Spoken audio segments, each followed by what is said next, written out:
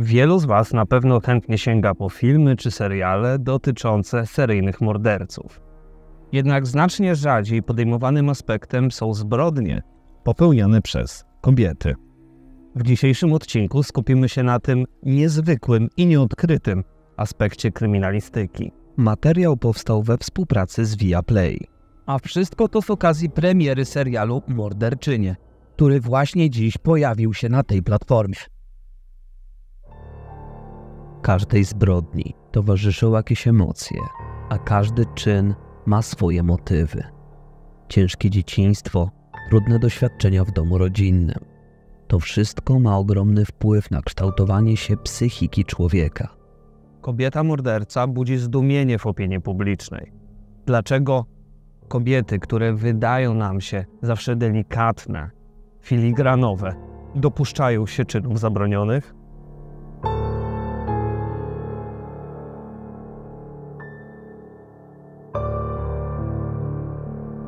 Monika Szy niewątpliwie wpisuje się w galerię polskich morderczyń.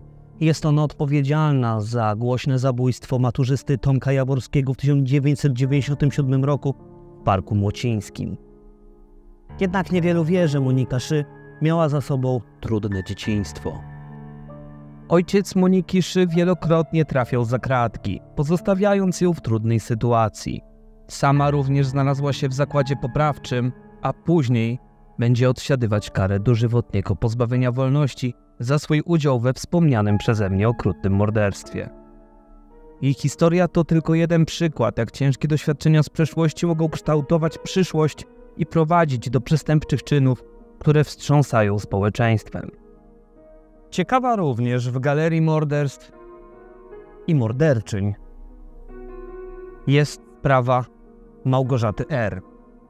Pochodziła z dobrego domu, była studentką resocjalizacji. Wszystko wskazywało, że jej życie potoczy się zupełnie inaczej. Jednak fascynacja gangsterami z grupy pruszkowskiej wydawała się zaprowadzić ją na mroczną ścieżkę. Małgorzata nie tylko interesowała się chłopcami z Pruszkowa, ale była na tyle odważna, by podjąć pracę jako kelnerka w restauracji Kaskada w Brwinowie, która należała do samych hersztów tej grupy przestępczej. Janusza P., pseudonim Parasol, i Krzysztofa P., pseudonim Krzyś. Jednak w pewnym momencie jej fascynacja przekroczyła granicę, a gangsterzy wykorzystali ją seksualnie. To traumatyczne doświadczenie wywołało w niej wręcz wstręt do gangsterów. Po zakończeniu swojej pracy w restauracji Kaskada, Małgorzata postanowiła rozpocząć nowy rozdział w swoim życiu. Znalazła zatrudnienie w ówcześnie nowo powstałej sieci komórkowej ERA. To tam poznała dwóch mężczyzn, Piotra A. i Pawła S., którzy okazali się być oddanymi fanami aktora Bogusława Lindy. To spotkanie zaowocowało niezwykłą intrygą. Kobieta wraz ze swoimi wspólnikami stworzyła plan, którego celem było zwabienie przyszłych ofiar do miejscowości Komorów koło Pruszkowa. Małgorzata wykorzystała wiedzę o idolu mężczyzn, którym zakomunikowała, że to właśnie Linda chce zakupić dla klubu filmowego telefony. Powiedziała im, że transakcji dokonają w Komorowie, gdzie Linda faktycznie mieszkał. Kiedy Piotr A. i Paweł S. dotarli do wskazanego miejsca w Komorowie, nie było tam jednak ani Lindy, ani jego willi. Byli nieświadomi pułapki. Zostali zastrzeleni i zakopani. Po całym makabrycznym wydarzeniu Małgorzata R. przekazała telefony handlarzom pod Pałacem Kultury i Nauki w Warszawie, które sprzedała. Ta zbrodnia i jej okoliczności wywołały szok i przerażenie w opinii publicznej. Małgorzata R. odbywa wyrok dożywotniego pozbawienia wolności. Pojawiła się możliwość ubiegania się o przedterminowe zwolnienie, jednak sąd twierdził, że jest bezzasadne. W historii morderczyń mamy również historię Bożeny K. I ta historia będzie głównym tematem dzisiejszego odcinka. Historia Bożyny K. to opowieść pełna tajemnic i nieoczywistych zwrotów akcji. W przeciwieństwie do wielu poprzednich historii, Bożena K. nie miała trudnego dzieciństwa, ani nie wykazywała wcześniej niepożądanych cech. Jej historia budzi ciekawość i pytania. Jak to się stało, że osoba pozornie, bez przeszłości przestępczej, znalazła się w sytuacji, która doprowadziła ją do przestępstwa? Dlaczego osoba, którą można by uznać za zupełnie zwyczajną, podjęła kroki, które nie zdają się mieć sensu? Bożena K. prowadziła życie, które na pierwszy rzut oka jawiło się jako spokojne i ułożone. Była żoną szanowanego obywatela, komendanta policji Marka K. Na zewnątrz wydawali się być parą, która ma wszystko: stabilne małżeństwo, pozycję społeczną i szacunek otoczenia. Jednak jak to często bywa, pozory bywają mylące. Bożena i Marek tworzyli małżeństwo, które dla sąsiadów wydawało się idealne. Ona nie pracowała, zajmowała się ogniskiem domowym, a mąż bardzo szybko piął się po szczeblach kariery w policji. Miał zaledwie 30 lat, kiedy został komendantem w Janowicach Wielkich. Jak sama mówiła, bycie żoną policjanta to bycie bezwzględnie posłuszną, nie mogącą się sprzeciwiać i być dyspozycyjną w każdej minucie. Można by rzec, że Marek K. prócz bycia komendantem policji, był też komendantem w domu. Bożena K. określała swojego męża jako kogoś, kto w mundurze zachowywał się jak SS-man, a momenty prawdziwego szczęścia w ich związku trwały dość krótko. Zaledwie dwa lata po ślubie, czyli w 1985 roku, para doczekała się córki, Emilii, a narodziny dziecka sprawiły Bożenie ogromną radość. Marek jednak okazywał chłód i surowość wobec córki. Nie potrafił przytulić dziecka. W pierwszych miesiącach życia kobieta nie mogła zrozumieć tej postawy i często upominała męża, że nie zajmuje się ich córką w odpowiedni sposób i nie okazuje jej kompletnie żadnych uczuć. W listopadzie tego samego roku Bożena odkryła, że jest w ciąży po raz kolejny. Zdecydowała się na niezwłoczne poinformowanie o tym swojego męża. Jednak zamiast radości i entuzjazmu, wiadomość o drugiej ciąży Bożeny wywołała u Marka szał. To, co miało być powodem do świętowania, zamieniło się w koszmar. Marek, szanowany komendant policji, nagle stał się potworem. Wymagał od niej, by pozbyła się tego dziecka, twierdząc, że nie chce kolejnego potomka, że nie jest gotów, że nie chce brać na siebie odpowiedzialności i opieki nad dzieckiem. Ten rozpoczął psychiczne znęcanie się nad żoną, niszczył ją emocjonalnie i w tym wiarę w swoją miłość. Nawet sięgnął po kopertę z pieniędzmi i odesłał Bożenę do kliniki, by przeprowadziła aborcję. Bożena K. poddała się temu zabiegowi. To był moment, który sprawił, że jej świat rozpadł się na kawałki. Do dnia dzisiejszego nie może sobie wybaczyć, że nie przeciwstawiła się mężowi. Marek zagroził, że jeśli tego nie zrobi, w przeciwnym razie może opuścić dom. Warto pamiętać, że model rodziny K był raczej konserwatywny i oparty na tradycyjnych wartościach. Mężczyzna pracował i dostarczał pieniądze do domu, a kobieta zajmowała się domem i wychowywaniem dzieci. Według późniejszych relacji żony Marka K., ten miał też dopuszczać się przemocy fizycznej i częstych nadużyć na tle seksualnym. Niespodziewanie Bożena K. zaszła w ciążę po raz trzeci – tym razem jednak postanowiła postawić na swoim i zdecydowała się urodzić dziecko. Wymagało to ogromnej odwagi, ponieważ wcześniejsza aborcja i przemoc ze strony męża pozostawiły w niej głębokie rany. Kobieta odważnie stanęła przed Markiem i wyraziła swoją wolę. Powiedziała mu, że jeśli nie chce mieć dzieci, to powinien stosować środki antykoncepcyjne. Ten jednak odpierał te argumenty, twierdząc, że ciąża to problem kobiety. Narodziny Agatki również nie złagodziły sytuacji w domu państwa K.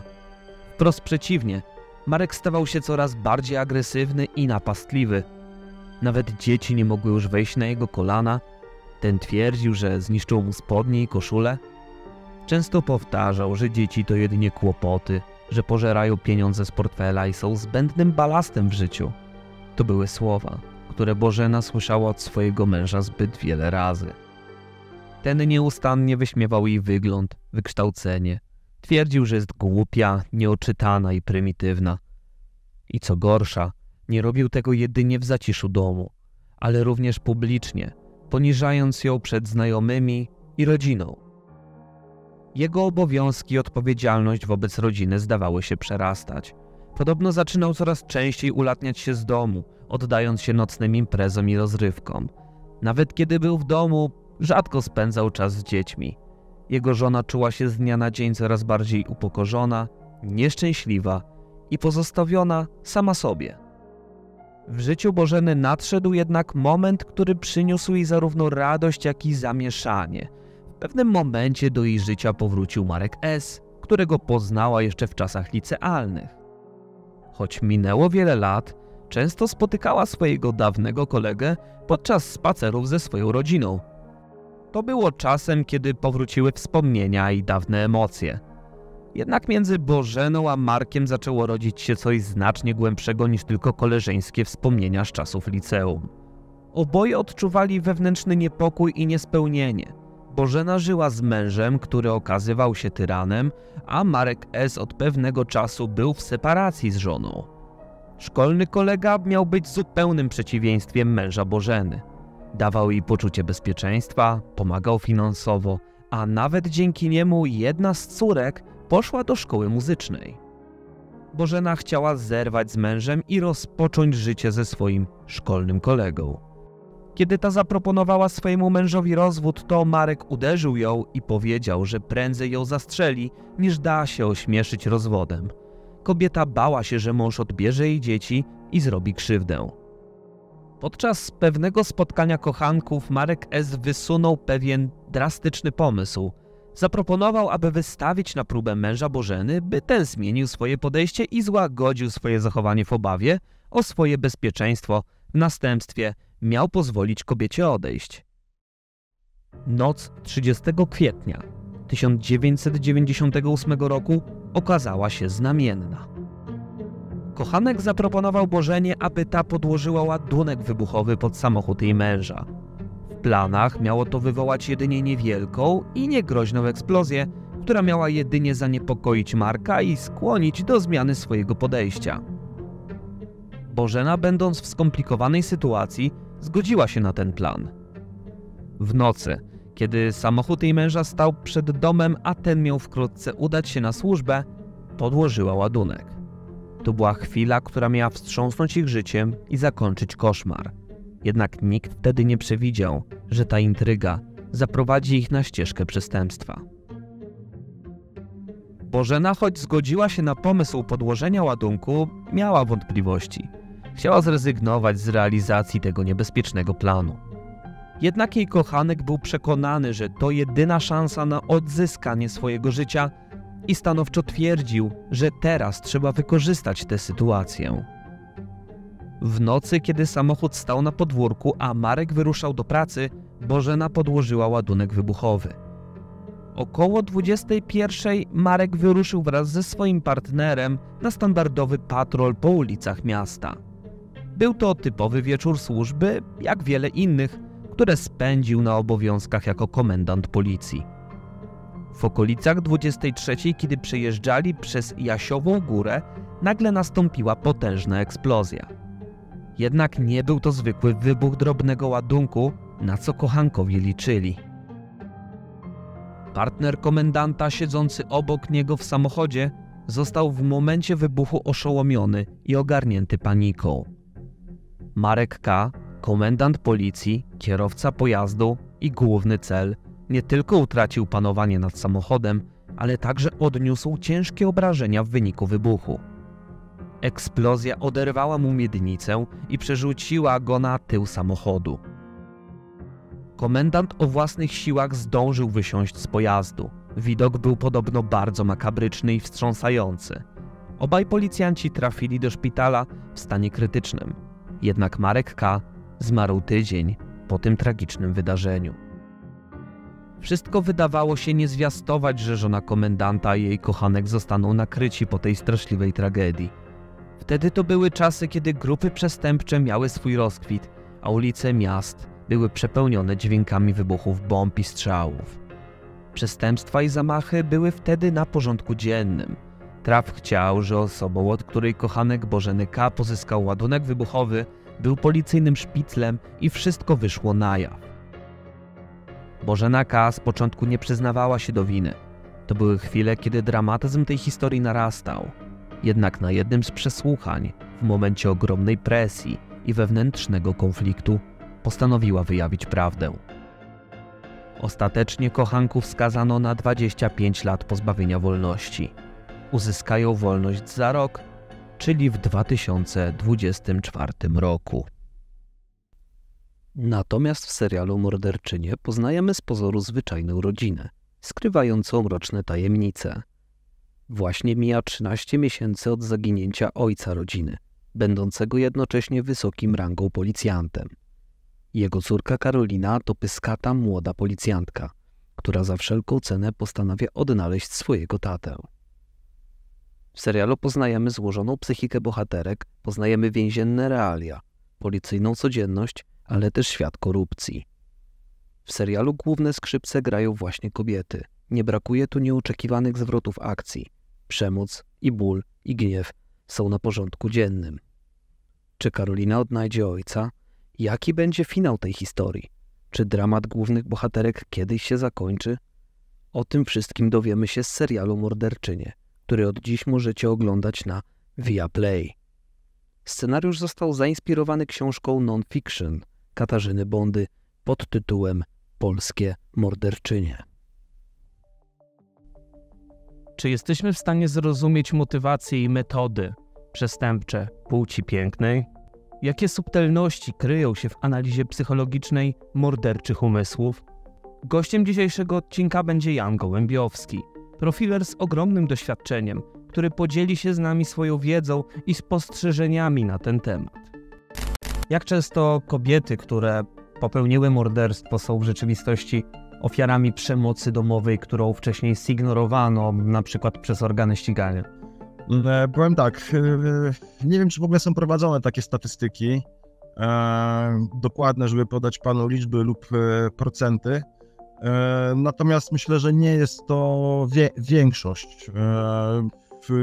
Jeśli tak sobie spojrzymy na statystyki akurat więzienne, jeśli chodzi o osoby osadzone, to kobiet, które odbywają karę mm, z artykułu 148, czyli zabójstwo, z wszystkimi pozostałymi e, paragrafami, jest e, niespełna 500. Tam jest 470 e, kilka, kilka kobiet.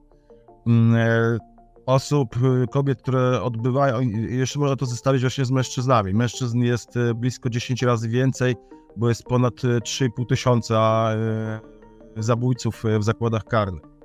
Mm, e, kobiet, które odbywają karę 25 lat pozbawienia wolności jest niespełna 70, 67 jeśli dobrze pamiętam, a tak zwanych dożywotniaczek, czyli osób, które są pozbawione wolności dożywotnio jest 15. Więc e, w ogóle te, o takich liczbach e, mówimy. No i teraz e, te, mm, część z tych kobiet na pewno była ofiarami przemocy domowej, natomiast nie potrafię powiedzieć, czy to jest 10%, 20% czy 30%. Są zresztą bardzo różne te przypadki. No i rzeczywiście ze statystyk takich typowo sądowych raczej tutaj mówi nam artykuł, a nie całe, całe tło.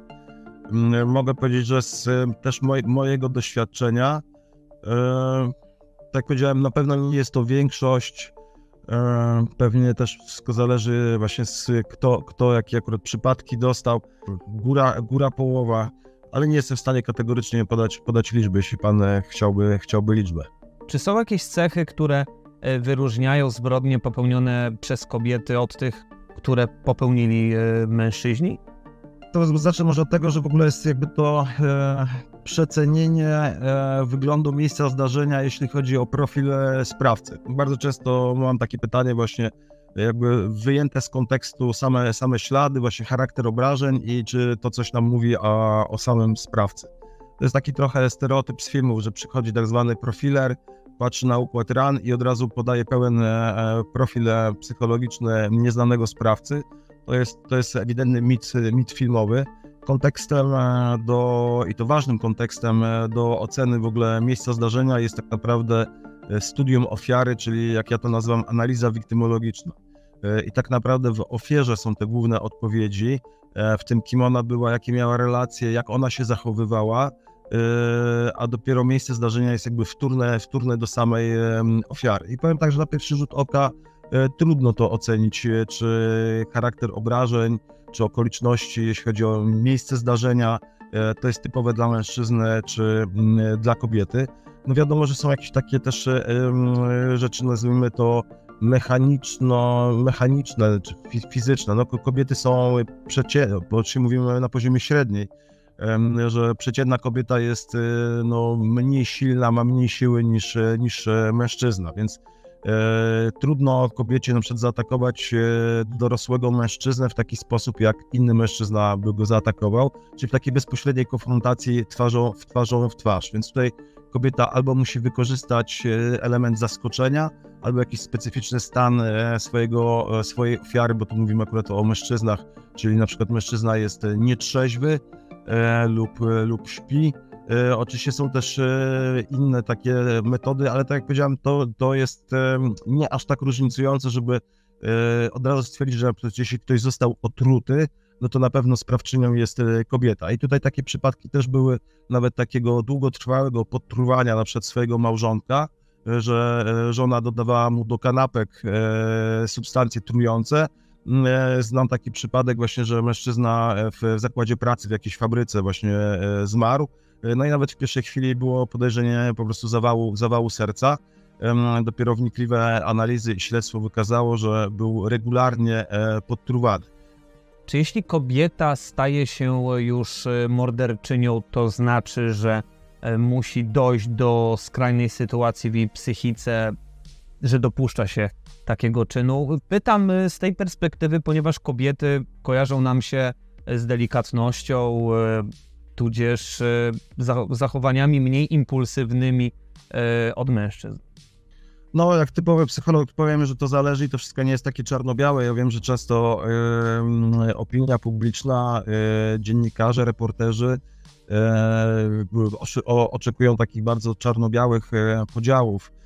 Tak, tak jest lub tak, tak nie jest, jest inaczej. Natomiast no, to rzeczywiście psychologia dostrzega te wszystkie e, odcienie szarości. Powiem, że wszystko, wszystko zależy właśnie od konkretnego e, przypadku. No i znowu wrócę do tych, do tych e, chociażby tego zaplecza. Jeśli ktoś żyje w takim patologicznym środowisku, to ten próg przekroczenia, że tak powiem, wybuchu agresji musi, nie musi być wysoko postawiony. Na przykład czynnikiem istotnym jest rozhamowanie na przykład przez alkohol lub środki odurzające. E, no i e, nawet opiniowałem w kilku takich sprawach, gdzie właśnie mm, e, ten, ten impuls, rzeczywiście mężczyzna był dominujący, był pewnie w obliczu takiego normalnego standardu, to był przemocowcem, natomiast w tamtym środowisku no, nie wyróżniał się, że tak powiem, nadmier nadmiernie, nie był jakimś super sadystą i na przykład czynnikiem tym właśnie takim rozhamującym był alkohol. Jedni i drudzy byli pijani, no i tutaj mały, mały impuls e, i kończyło się przed dźgnięciem. E, to była jakaś e, kłótnia przy, tak, to co teraz mam na, tak w pamięci najbardziej, co mi przychodzi pierwsze do głowy, to właśnie była kłótnia przy szykowaniu posiłku. Pamiętam akurat kobieta szykowała frytki i robiła takim metodą domową, czyli cięła, cięła ziemniaki E, to nie były gotowe frytki z jakiegoś e, torebki, tylko cięła ziemniaki w, w, w paseczki. E, no i oczywiście łatwo sobie wyobrazić, miała nóż w ręku, żeby te frytki mm, przygotowywać. Kilka, kilka słów, kilka takie napięcie się pojawiło w, w, w powietrzu, no i dźgnęła tego swojego partnera w klatkę piersiową. Mm, on nie zmarł od razu. E, kobieta uciekła z, z, do, z domu, bardzo się przestraszyła też, że on e, może od razu jej zrobić krzywdę jakąś, że się zemści. On był też chyba, to po pierwsze oboje mocno pijani, on też był troszkę zaskoczony tym, tym, co się zdarzyło. No i zadzwoniła sama na telefon alarmowy na 112, wzywając pomoc. Sama zresztą pamiętam, bo odsłuchiwałem też, też to nagranie. Szlochała, płakała, mówiła, że chyba zabiła swojego partnera podała adres, żeby go, żeby go uratować. Rzeczywiście mm, już jak przyjechała, e, przyjechało pogotowie, no to był już e, mocno wykrwawiony, jeszcze zmarł im, e, jeśli dobrze pamiętam, w, ka w karetce z powodu tego wewnętrznego krwotoku. Natomiast w innych przypadkach ten próg rzeczywiście musi być wy, wy, wyżej postawiony. No i tutaj mamy też taką przemoc domową, nazwijmy to w białych rękawiczkach w rodzinach tak zwanych e, normalnych, czy nawet e, ponadprzeciętnych, jeśli chodzi na przykład status e, majątkowy, poziom wykształcenia, jakiś status społeczny, jeśli chodzi o zawód, jaki wykonują obo, oboje, albo przynajmniej mężczyzna.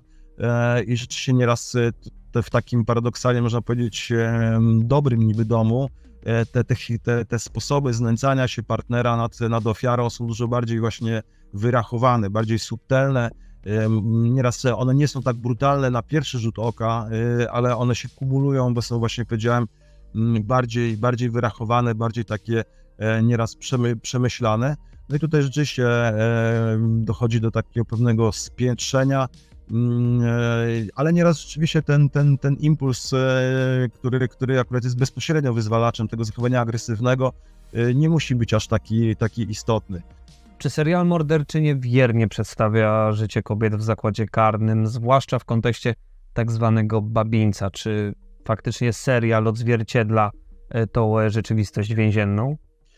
E, no wiadomo, że serial, że każdy film, jak każda produkcja filmowa, jeśli nie jest stricte dokumentem, no musi mieć jakiś taki element trochę sensacyjny, trochę czegoś przerysowane albo uwypuklone, żeby to się po prostu dobrze oglądało.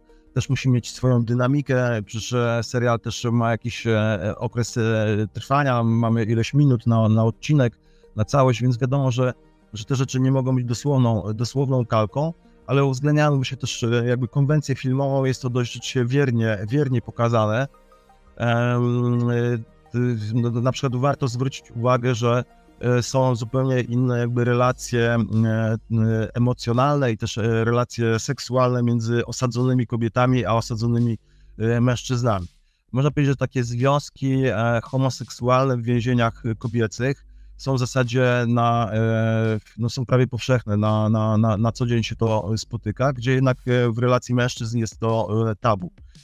I tutaj można powiedzieć, że u kobiet wychodzi poza, poza sferę seksualną, gdzie oczywiście tutaj też dochodzi do zbliżeń cielesnych, ale jak wiadomo, kobiety są bardziej relacyjne, więc tutaj ta seksualność jest dodatkiem do, do, do relacji, więc tutaj nie chodzi jakby o w ogóle orientację seksualną, te kobiety potrafią mieć e, mężczyzn poza zakładem karnym, czy na przykład korespondują z innymi osadzonymi mężczyznami w zakładach karnych dla mężczyzn, mają swoich, że tak powiem, chłopaków, czy, czy kogoś, jakąś miłość męską, która jest tak naprawdę realizowana korespondencyjnie, bo tamten, tamten też siedzi, nie wiem, 25 lat za zabójstwo i sobie piszą, piszą listy.